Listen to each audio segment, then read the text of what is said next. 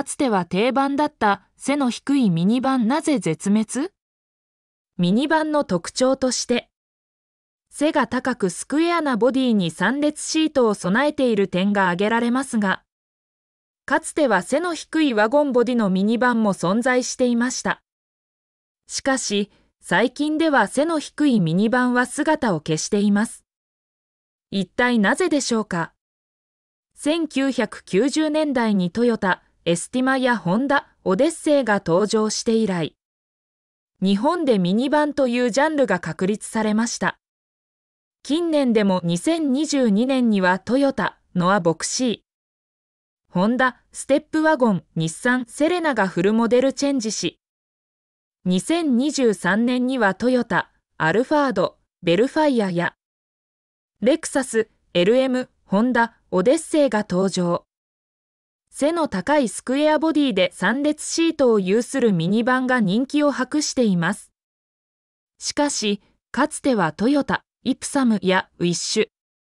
ホンダ、ストリーム、日産、ラフェスタといった低い全高のワゴンボディに3列シートを搭載するミニバンも存在しており、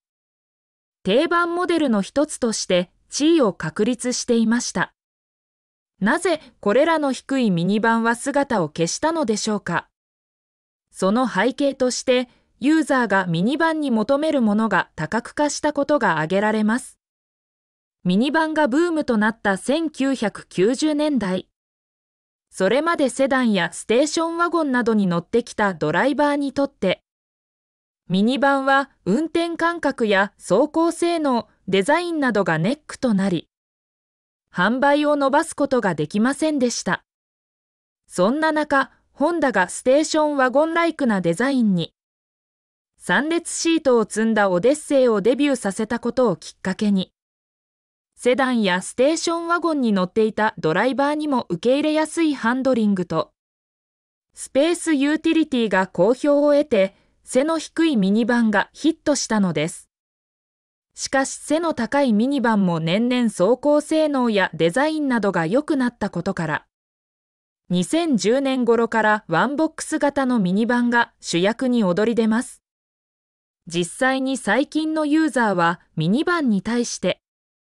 居住空間が大きいことや乗り心地の良さを求める声も多く見られます。つまり、ミニバンに走行性能やスタイリッシュさを重視する風潮から、実用性生活性を強く求めるようになった需要の変化が大きな要因の一つです。また、某国産メーカーの担当者は、利便性の高い背が高いミニバンが普及した中で、背の低いミニバンは中途半端な存在となり、需要が見込めないため今後新たに出てくる可能性は低いことも述べていました。このように日本では背の低いミニバンが新たに登場する可能性は低いですが、ミニバン自体は時代に合わせて変化し続けています。